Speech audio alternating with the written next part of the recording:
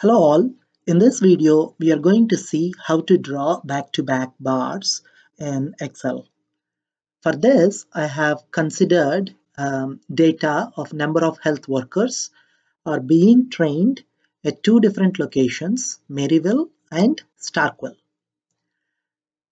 Among the years 2010, 2011, 12, 13, 14, so on 15 and same way for the Starkville as well. Okay. So for that, I'm going to draw a bar graph for Maryville location first, and then I would draw a bar graph for Starkville location. In order to do bar graph, you could insert um,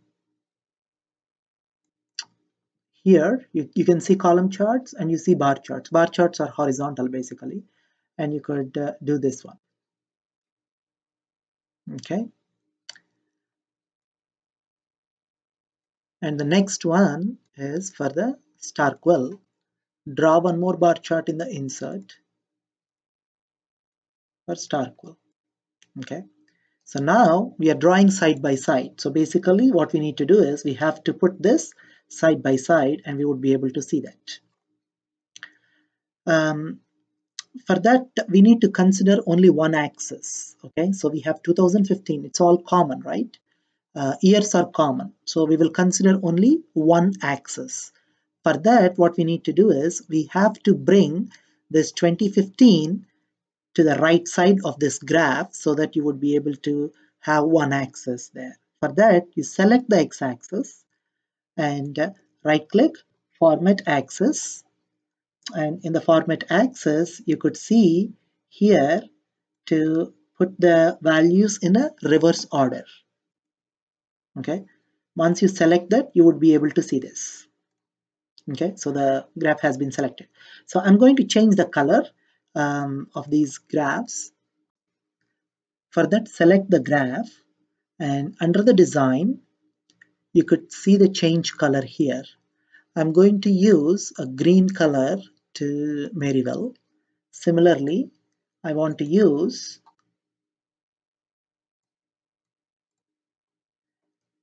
uh, maroon color or uh, related to that color with uh, Starkville okay? So now I see the difference. So we got almost side-by-side -side graphs right? So here the axis has been repeated. I want to remove this axis okay? So but remember the axis starts from 2015 to 2010 same way this also.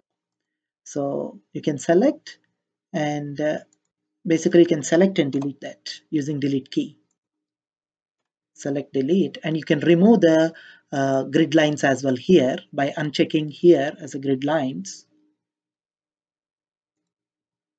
Or you could remove with your uh, keyboard also delete key. Okay so now we got this. So here you could see that how many first I want to insert the data here um, insert data labels okay? And same way in this graph as well I'm going to insert the data. Data labels okay? So this is a little bit misleading here. Can you guess why? Because in 2010 Maryville is having 494 whereas 2010 Starkville is having 323 but which bar is the bigger one? At least from your for your eyes.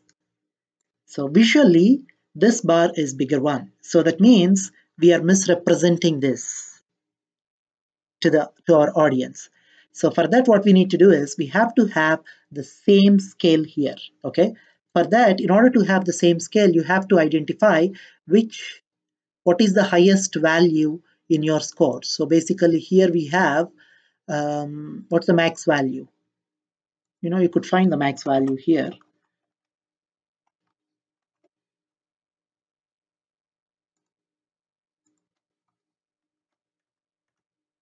So 494 similarly you get the max value here is 323 okay? So in that case we want to have the same, the highest value of the x-axis should be the same in both the graphs. So what's the highest value here? 494, right? And 323. So I want to put uh, the axis, I don't want to put 494, but I would like to have like a format axis, right click on that format axis and then put 500. Okay. And for this graph also, right click format axis instead of 350 put 500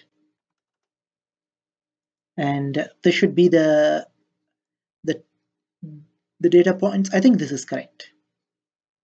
Okay so i think this should be correct. So this should start with 20 as well. And in this graph also it started with 20 now you can compare these two graphs and you could easily say that 494 is far better so the side by side bar graphs is good for example, if you have more, I mean, right now we have five, one, two, three, four, five, six, six years of data. If you have 10 years, you know, it would be better if you see this in a nice way uh, from uh, top to bottom or um, horizontally. Whereas if you have column, that would be a column bar or a, a, grouped column bar that would be next to each other, which would be a little uh, harder to visualize. So this is one way that you could visualize. However, we are missing something here that is our um, uh, axis, right? That is our ears that we uh, missed that. So for that, what I want to do is I just want to reduce the graph a little bit on both the graphs, size of the graphs. You know, try try to be equal. If not, uh, that's okay. Uh, control select both the graphs using uh, your control key. And then under the format you put align make sure you align to the top so that both the graphs are at the same place okay? And now what you need to do is you have to uh, view go to view and uncheck the grid lines. So now at least you could see this. So so what we have to do is we need to put our years here. So this would be 2015, 2014, 2013, 2012, right? So 2015 here. For that, uh, we have to insert under the shapes, there is a text box. So insert the text box here. Okay. So this should be 2015. I would recommend write one value in that and we don't want to see those uh, um, outlines and all. For that what we need to do is again go to format. Here it is shape fill. I don't want to fill anything and I don't want to fill, uh, I don't have to have any shape outline. So that would be 2015 like that. So I would recommend you copy paste 20 14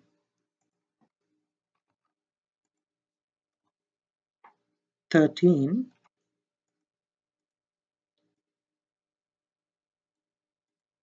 you know I would recommend you to align with these uh, nicely. 20 2015 14 13 12 11 and 10, right? 13, 12, 11, and 10. Um, I want to put all this in center. Okay, select all of these by using your shift key and we will align these to center.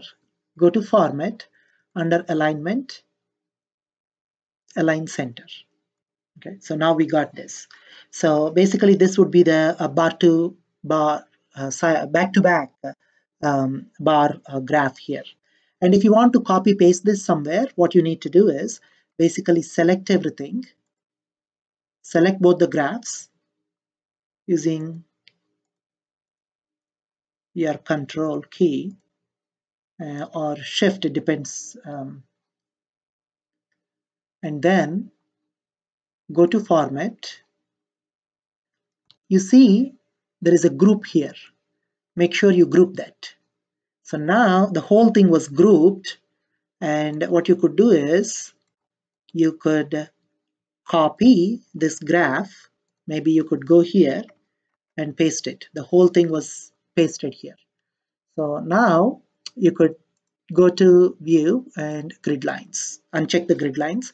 Now you could see in a nice way it's a back-to-back -back, uh, bar graph. Okay? So thanks for watching